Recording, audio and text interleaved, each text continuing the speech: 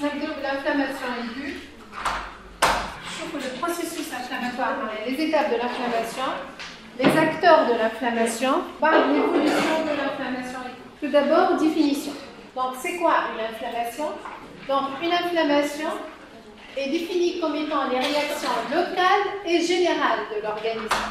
Donc, ce n'est pas uniquement ce qui est local. Donc, ce sont des réactions locales et générales de l'organisme vis-à-vis à une agression quelle que soit sa nature. Quel que soit l'agresseur, c'est l'ensemble de réactions locales et générales afin de maintenir la myostasie et l'intégrité de l'organisme.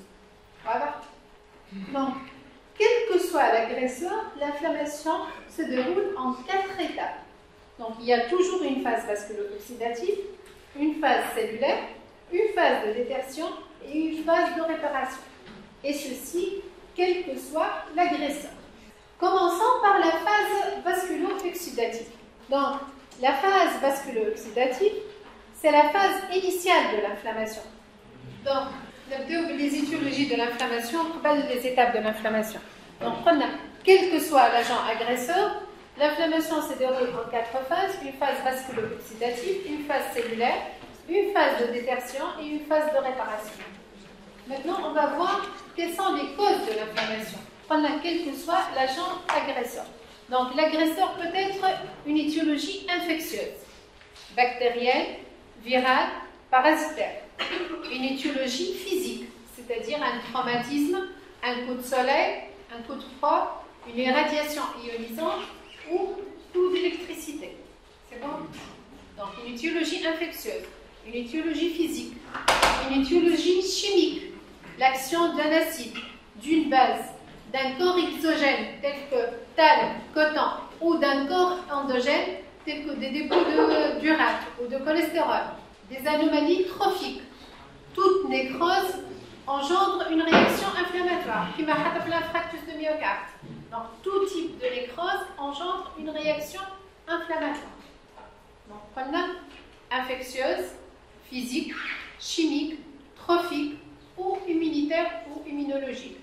Donc, les dépôts de complexes humains, tels que dans le lupus ou dans la polyarthrite, il y a une, réaction inflammatoire autour. Donc, euh, ces causes sont multiples et on peut avoir même plusieurs causes associées. C'est-à-dire, on peut avoir euh, une anomalie trophique et une surinfection bactérienne. Voilà, donc on peut avoir plusieurs causes associées. Maintenant, où se déroule l'inflammation? Donc, l'inflammation se déroule dans le tissu conjonctif, donc, qui tire une plaie cutanée. Donc, l'épiderme, l'épithélium en surface, l'inflammation, je partout. Le tissu conjonctif. Donc, l'inflammation se déroule toujours dans un tissu conjonctif vascularisé. Avec le diabète, le diabétique et les vie, réaction inflammatoire en et la cicatrisation en Donc, Donc, le tissu conjonctif se déroule, euh, l'inflammation se déroule dans le tissu conjonctif. Donc, tissu conjonctif, il substance fondamentale, fibre de collagène, fil des cellules, puis un réseau vasculaire. Donc, les, euh, les tissus, les méphirons, euh, tissu conjonctif, méphirons vaisseau, mais il une réaction inflammatoire qui met le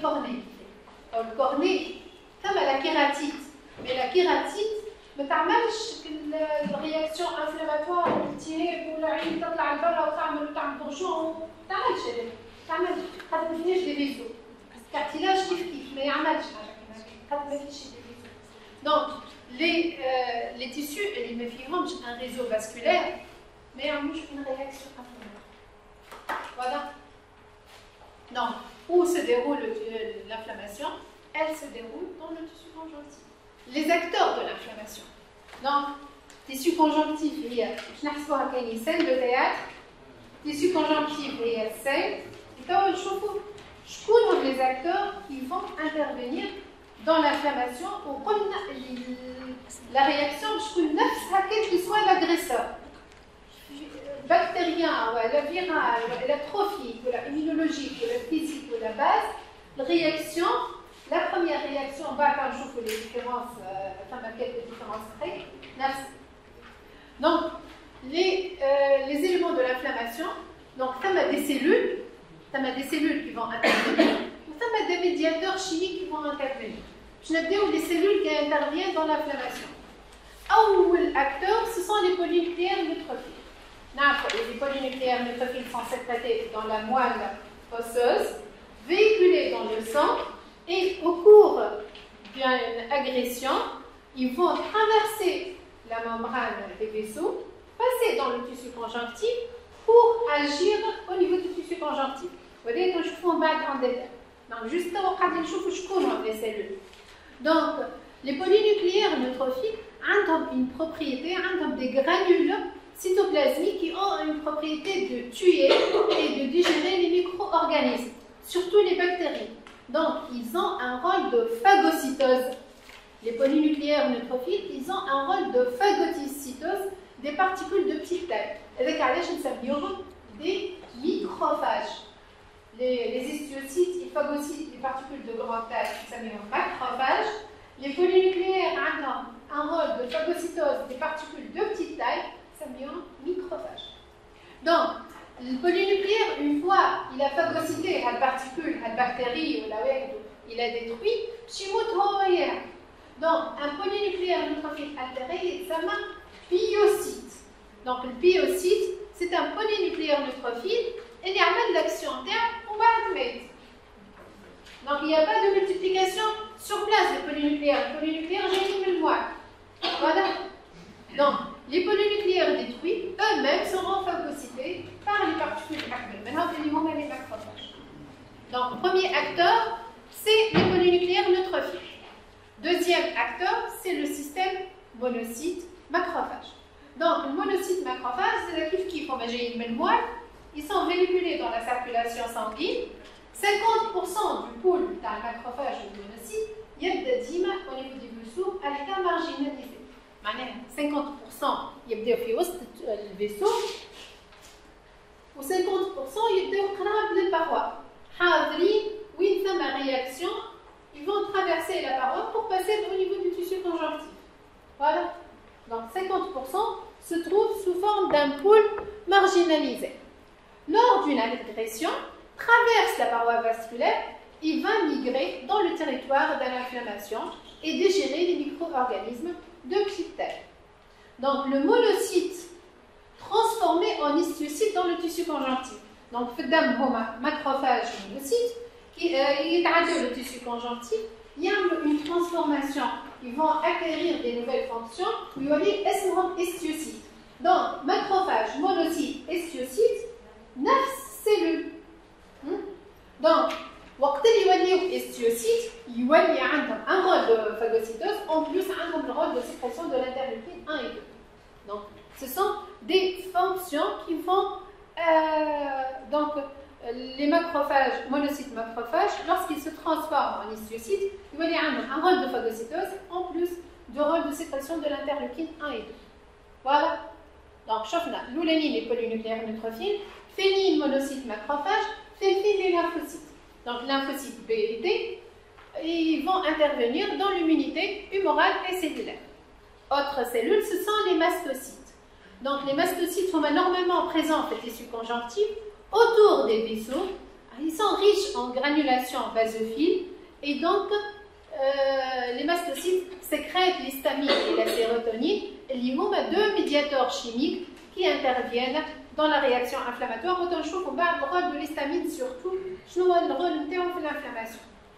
Autres cellules, ce sont les fibroblastes et les myofibroblastes. Les fibroblastes et les myofibroblastes, un tissu conjonctif, vont intervenir à la fin de la réaction inflammatoire dans le phénomène de cicatrisation. Voilà. Donc, polynucléaire neutrophile, monocyte macrophage, lymphocyte B et T, mastocyte, fibroblaste et myofibroblaste. Y a-t-il comme cellule Or là, ce n'est pas une cellule de la réaction inflammatoire. Voilà. Donc, on a les cellules qui interviennent, donc je trouve les médiateurs chimiques qui interviennent dans l'inflammation. Ah, les médiateurs chimiques, ils sont de deux types. Il y a des médiateurs qui proviennent des cellules et il y a des médiateurs qui proviennent du plasma. Donc je dis le sang. Donc il y a des médiateurs cellulaires et des médiateurs plasmatiques. Le rôle de ces médiateurs, c'est les modifications vasculaires, c'est la diapédèse leucocytaire et c'est la destruction tissulaire. Autant je forme, les trois éléments on, on ne fait que citer les acteurs. Qui vont intervenir. Ou détail comment ils vont intervenir. Ou le médiateur cellulaire ce sont les amines biogènes. Les amines biogènes ou l'histamine et la sérotonine. L'histamine c'est un médiateur libéré au cours du processus inflammatoire par les mastocytes et les polynucléaires basophiles donc, شفنا توا les polynucléaires neutrophiles اللي هما عندهم الرول نتاع الفاغوسيتوز والبازوفيل il intervient dans la libération de l'histamine. Voilà. L'histamine هذه الرول نتاعها c'est augmenter la perméabilité vasculaire par contraction des cellules endothéliales. على خاطر احنا l'objectif نتاعنا شنو؟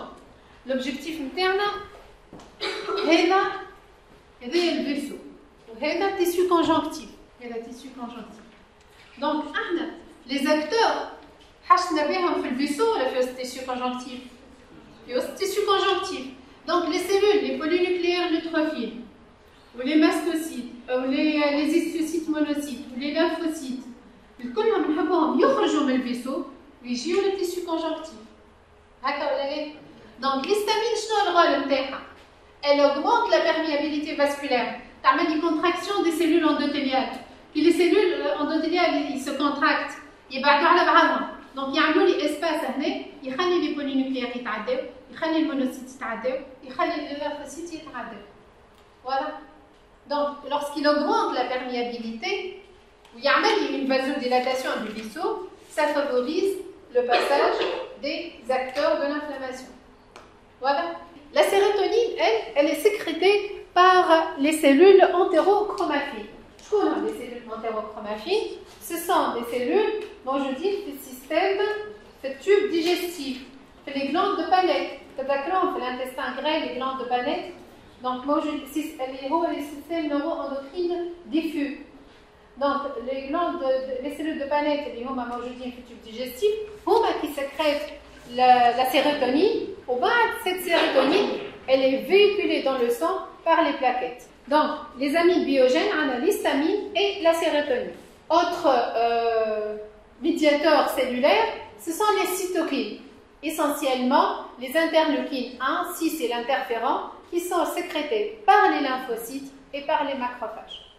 Troisième élément cellulaire, ce sont les dérivés de l'acide arachidonique. Je l'acide arachidonique. Ni Une membrane cytoplasmique. Donc, la membrane cytoplasmique dans les cellules, donc la membrane cytoplasmique des cellules, tartine l'acide arachidonique. Ou l'acide arachidonique, il subit au cours de l'inflammation deux euh, voies. Soit la voie de cyclooxygénase, yatina la prostaglandine, soit la voie de l'hypooxygénase, ou yatina leucotrienne.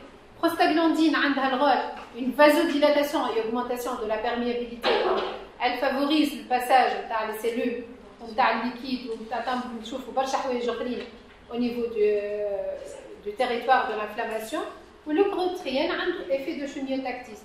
Donc, en cas de maladie inflammatoire, on veut avoir une action anti-inflammatoire.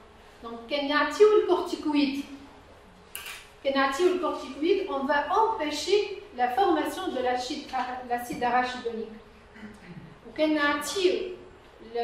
l'aspirine, les anti-inflammatoires non stéroïdiens, on va bloquer la formation de la prostaglandine. Voilà. Donc, suivant احنا شنو حشنا بالضبط شنو هي الملادي نعطيو الكورتيكويد ولا l'anti inflammatoire non stéroïdien. Donc, شفنا les médiateurs d'origine cellulaire اللي هما les amines biogènes les cytokines l'acide arachidonique قلنا ثم d'autres médiateurs اللي هما les médiateurs plasmatiques les médiateurs plasmatiques معناه موجودين في البلازما موجودين في الدم نبداو بالcomplément il y a la fraction C3 ou C5 dans le complément qui ont une action chimiotactique puissante. Ou la fraction C3B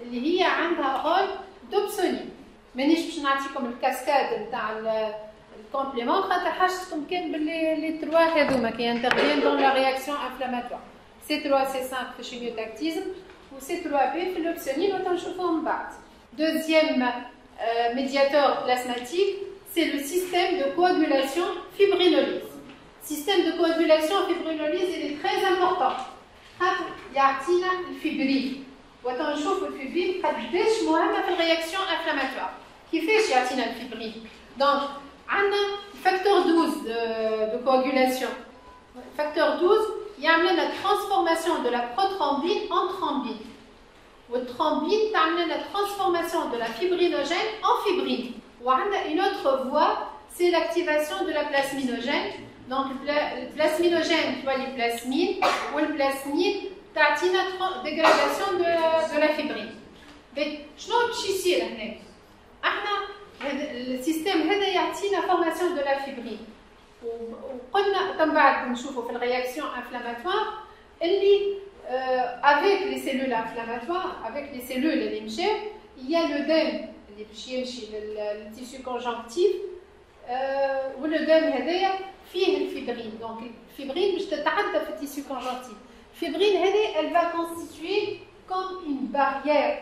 الفيبرين باش تعمل une barrière autour du foyer inflammatoire pour empêcher la diffusion de l'inflammation. Donc le rôle de la fibrine qui est حتى في abcès la rage fibrine d'où le polynucléaire neutrophile altéré pour limiter la réaction inflammatoire. Donc le rôle de la fibrine, c'est surtout constituer une barrière qui empêche la diffusion de l'inflammation dans le reste de l'organe ou dans les organes de voisinage. اما احنا مازلنا ماناش في غادي قاعدين نشوف شنو هما لي زاكتور Donc, nous allons les acteurs. Troisième système plasmatique qui intervient, c'est le système kinine. Donc, facteur 12, non seulement il intervient dans le, système coagulation fibrinolyse ou formation de la fibrine, il intervient également dans la transformation de pré-calécrine en calécrine, ou la calécrine, la transformation de la caninogène en kinine اللي هي عندها une vasodilatation, augmentation de la perméabilité vasculaire et douleur. Donc شفنا شنو هما les cellules polynucléaires neutrophile, monocytes macrophages, lymphocytes, euh, myofibroblastes ou fibroblastes. وشفنا توا les médiateurs, les amides biogènes اللي هما كينين هيستامين سيروتونين شفنا زيدو نقولوا سيتوكين les dérivés de l'acide arachidonique اللي هما كما les médiateurs plasmatiques وشفنا les médiateurs اللي هما médiateurs cellulaires وشفنا les médiateurs plasmatiques اللي هما complément coagulation fibrinolyse et système chimique.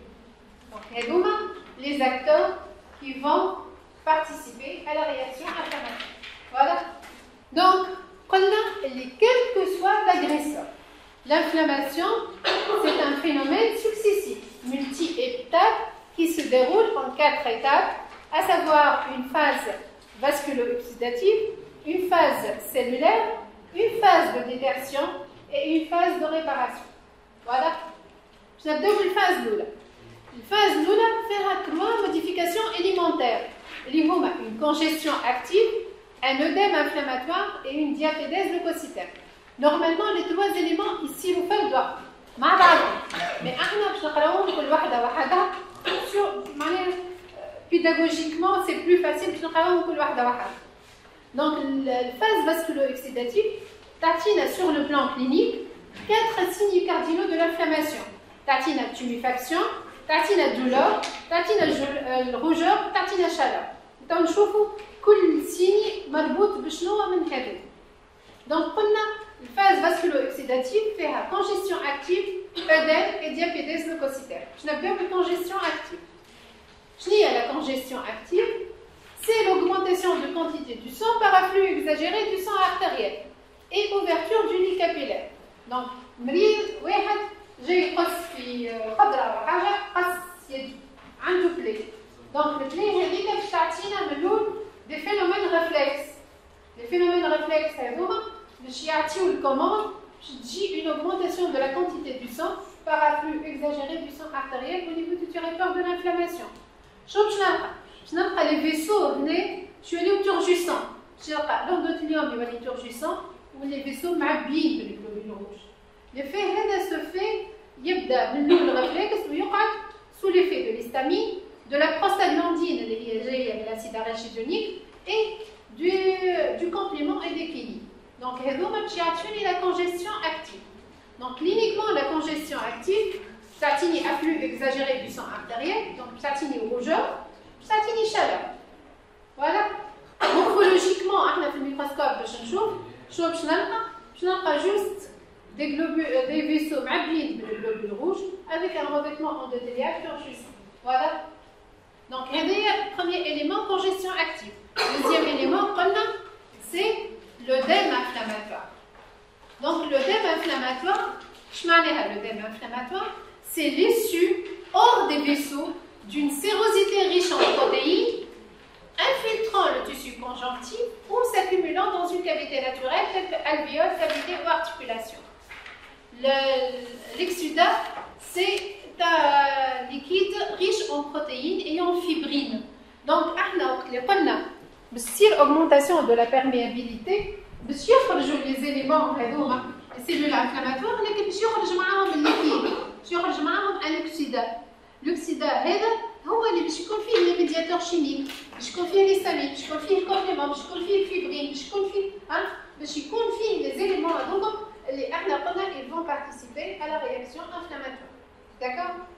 Donc, c'est les hors de vaisseau d'une sérosité riche en protéines ou faire fibrine qui va constituer une barrière. Alors, le inflammatoire, il est lié. On a ça, la congestion active. Donc, ça, afflux exagéré du sang au territoire. Donc, l'afflux, c'est augmentation de la pression hydrostatique. Donc, l'augmentation de la pression hydrostatique, c'est une augmentation de la perméabilité capillaire ou تعطينا élargissement des fentes intercellulaires donc l'effet de l'œdème inflammatoire il est lié à l'histamine, la sérotonine, la bradykinine et le facteur complément donc l'œdème هذا donc شنو باش يعطينا باش يعطينا البارتي باش تنفخ هذا الليكيد باش يولي فوق التيسيو كونجونكتيف دونك باش تعطينا تونيفاكسيون وباش تعطينا douleur على خاطر l'œdème va comprimer les terminaisons nerveuses il va enterrer les terminaisons nerveuses, donc douleur par augmentation de par compression des terminaisons nerveuses. Sur le plan morphologique, il a le microscope, juste, je ne tissu conjonctivé dans les rondes filmées, donc tu vas lui pas. Donc l'effet euh, t'as l'œdème. Généralement, l'œdème est bénéfique. Allez, je l'œdème bénéfique. Un, il permet de diluer les produits toxiques. Supposons qu'il y a un venin, l'agresseur, اسيد اكسيون تاعها ولا باز واحد تهبط عليه ما فرق ولا حاجه دونك تصير ديستركسيون تيسيولار الليكيد هذاك شنو باش يعمل il va diluer l'acide donc الديغا ديستركسيون تاع التيسيو باش تكون اقل هكا ولا لا donc un il va diluer le produit toxique deux apport de la fibrine qui va constituer une barrière euh, au, au foyer inflammatoire cependant le deuil peut être néfaste. Lorsqu'il est abondant, d'installation brutale ou dans une cavité inextensible. Mais fait supposant le cerveau, chercher la hypertension intracrânienne, ou la pharynx, le dème de quick, l'allergie, le choc anaphylactique, ou elle a fait le poumon, l'OAP. Donc, chercher abondant, ou elle est brutale, elle est dans une cavité inextensible, dans ce cas, il est mortel. Mais en général, un œdème inflammatoire et réaction inflammatoire, généralement, il est bénéfique pour la réaction inflammatoire. Voilà. Troisième élément, on a la congestion active, œdème et diapédèse leucocytaire. Je la diapédèse leucocytaire, c'est la traversée active de la paroi vasculaire par les leucocytes et leur accumulation dans le foyer inflammatoire. Donc, les leucocytes, je suis la paroi, oui, je suis le tissu conjonctif. سميناها ديابيديز لوكوسيتير على خاطر لي لوكوسيت هما الاولانيين اللي يجيو لكن من بعد باش تصير diabète des lymphocytes ou diabète des monocytes ماهيش uniquement pour les leucocytes معناها c'est la traversée active des cellules inflammatoires qui vont traverser la paroi et passer au niveau du tissu conjonctif. Donc cette traversée, elle est favorisée par un chimiotactisme selon un gradient de concentration. Le gradient de, de concentration, le facteur C3, C5 a un effet chimiotactique important. Donc, ils vont créer un gradient de concentration, mais bien le vaisseau au tissu conjonctif, de façon à les cellules inflammatoires, les polynucléaires, les monocytes, les macrophages, les lymphocytes, selon un gradient de concentration, vont passer de vaisseau vers le tissu conjonctif. Donc, morphologiquement, je fais les cellules inflammatoires qui le vaisseau. Par cette traversée active, je n'ai un manchon de cellules inflammatoires autour du vaisseau, le tissu conjonctif. Hmm? Donc, les cellules rajoutent le vaisseau, j'ai le tissu conjonctif autour du vaisseau. Voilà. Donc, diabète leucocytaire qui fait chez Donc, ici, euh, un roulement donc un roulement euh, dans les polynucléaires وبعد يصير لهم marginalisation وبعد تصير لهم migration donc selon qu'on a un phénomène de chimiotactisme. Donc ensuite, va du polynucléaire, les monocytes et les lymphocytes prennent ensuite la suite, c'est le passage à la phase cellulaire. Donc, phase de congestion active, ça a congestion du vaisseau, une congestion hélique, elle a favorisé le passage de liquide, l'œdème, elle a favorisé la diapédèse leucocytaire, c'est-à-dire le passage des éléments inflammatoires. Donc, je n'ai pas tissu conjonctif اللي كان عادي شو اللي معبي بالليكيد اللي هو لو دير ومعبي les cellules inflammatoires اللي هما الغال نتاعهم essentiel c'est la phagocytose les polynucléaires vont phagocyter les petites particules les macrophages vont phagocyter les particules les plus importantes ou les polynucléaires altérés vont être phagocytés ou les cellules nécrotiques, euh, le tissu qui a été nécrosé, il va être également phagocyté. Donc la phase cellulaire, très rapidement le foyer va s'enrichir en cellules. Les premières sont les polynucléaires neutrophiles qui sont les stigmates d'une inflammation aiguë, puis rapidement d'autres cellules, monocytes qui vont se transformer en histiocytes, Lorsque le, foyer inflammatoire devient chronique, je vais des cellules mononucléaires أكثر من les polynucléaires خاطر les polynucléaires قلنا يعيشوا entre 2 et 5 jours. Donc l'ensemble va constituer ce qu'on appelle le granulome inflammatoire. Donc la composition du granulome inflammatoire. Initialement, je Initialement, on a le vaisseau et le tissu conjonctif. Donc le vaisseau, bichiatina les polynucléaires, bichiatina le monocyte. Le monocyte, une fois le tissu, bichiatina les l'ischiocyte.